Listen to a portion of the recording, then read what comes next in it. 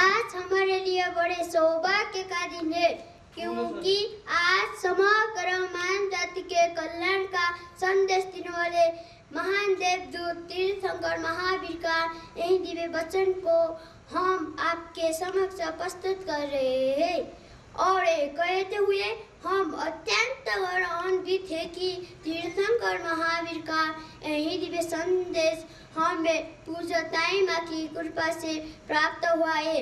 महावीर का यही अमर संदेश, किसी जाति, पौन, वर्ग और वर्ग के भेद पीड़ा समग्र मानव जाति के कल्याण का मार्ग प्रशस्त करता है। आइए आज हम सब श्रेष्ठ मार्ग पर चलने का संकल्प करते हैं। ढाई हज़ार वर्ष पूर्व तीर्थंकर महावीर ने कहा, एगा मनुष्य जई, मनुष्य जाति एक है। कहा भेद है? मत विभाजन करिए। हमने दुनिया को बांटकर विषमताएँ पैदा की है। जाति, धर्म, रंग और राष्ट्र के नाम पर हमने संपूर्ण मानव जाति को खंडित कर दिया है। जिससे द्वेष और पैदा हुआ है। आइए, आज हम इस पावन प्रसंग पर समग्र मानव जाति को एक सूत्र में बांधने का संकल्प करते हैं।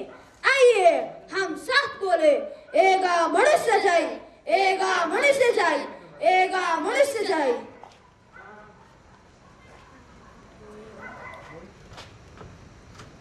मित्रों, एक और महत्वपूर्ण संदेश है तीर्थंकर महावीर का। मैं तिम्बुए सुकपय। मित्रता हमारा धर्म हो।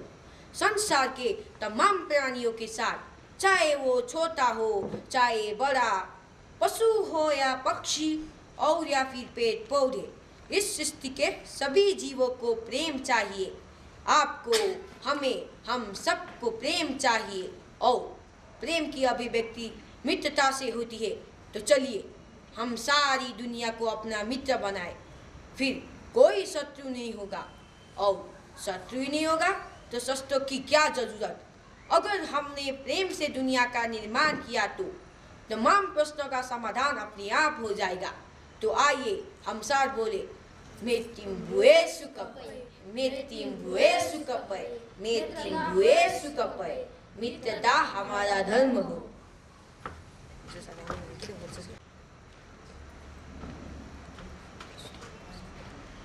और क्या कहा मित्र? तीर्थंकर महावीर ने, प्रभु ने कहा, जह दिवो दीव स्वयं, एक दिया हज़ारों दिए को प्रज्वलित कर सकता है। यदि हम ये सोचे कि एक अकेले हमारे अच्छे होने से, श्रेष्ठ आचरण करने से क्या होगा तो याद रखिए, केवल एक छोटे से दियो से हज़ारों दियो को रोशन कर अंधकार दूर किया जा सकता है। तो आइए हम सब संकल्प करें कि हम अपने भीतर ज्ञान का, प्रेम का और करुणा का दीप जलाएँगे और अपने आसपास के लोगों का भी जीवन प्रकाश और आनंद से भर देंगे। तीर्थंकर महावीर ने जीवन की सभी विधाओं पर बात की है और जीवन को सुंदर ढंग से जीने का संदेश दिया है। उन्होंने कहा, जम से यम, तम समाय रे। आप सभी हमारे साथ प्रेम से दोहराइए। जम से यम, तम समाय रे। अर्थात जो हितकारी है, कल्याणकारी है, उसी का आचरण करे। ईर्षा द्वेष, क्रोध, अहंकार, लोभ जीवन को कठोर और कठिन बना देते हैं। प्रेम, मित्रता, सौहार्द और करुणा जीवन को तराश कर कोमल बना देते हैं। आइए, जो हितकारी है, कल्याणकारी है, उसे जीवन में आत्मसात करें।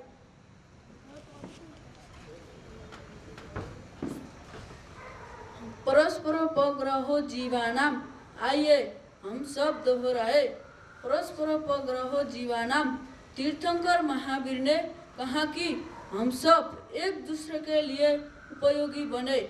मिलकर एक ऐसे स्वस्थ समाज का निर्माण करें, जहाँ सभी एक दूसरे के काम आ सके। प्रत्येक व्यक्ति में कोई ना कोई गुण है।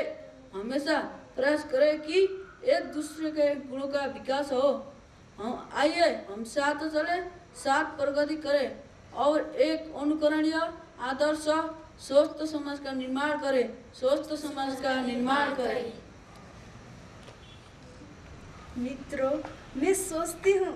दुनिया में भगवान के ये वचन न होती तो दुनिया कैसी होती? भगवान के ये अमृतपूर्ण शब्द जीवन को सौंदर्य से भर देते हैं।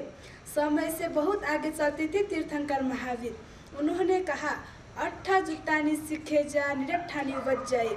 जीवन में जो उपयोगी है, उसको ग्रहण करना, बाकी निरर्थक बात को छोड़ देना। आज इंटरनेट, गूगल और मीडिया के माध्यम से सूचनाओं का भंडार हमारे सामने है, लेकिन जो बुद्धिमान है, वो उसमें से उपयोगी बात कर लेगा और अनुपयोगी बात को छोड़ देगा, डिलीट कर देगा।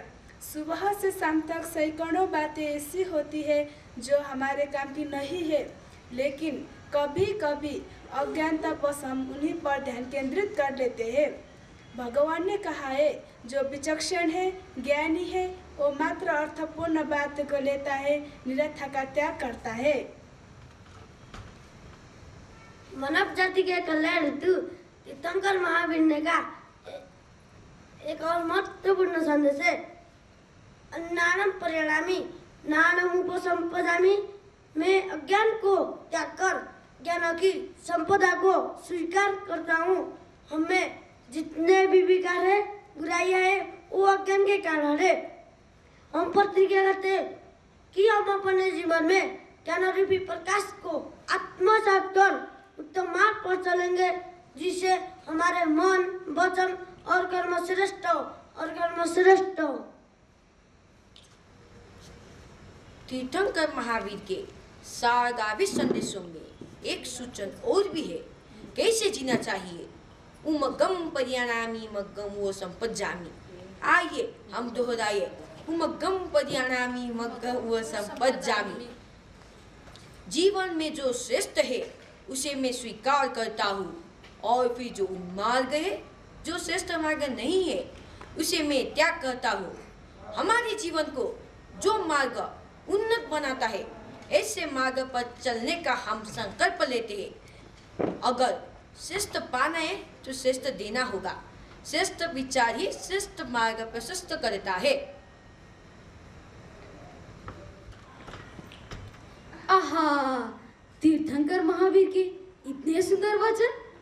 ऐसे लगता है कि इन शब्दों को ही पी जाएँ, आत्मसात कर ले और इस शब्दों के प्रकाश में जीवन का निर्माण करें। और यही तो हम सीख रहे हैं नेपाल विराटन केंद्र में। स्व कल्याण के साथ पर कल्याण की यात्रा। दीप से दीप जले एक एक व्यक्ति जगे और जगमग हो जाए।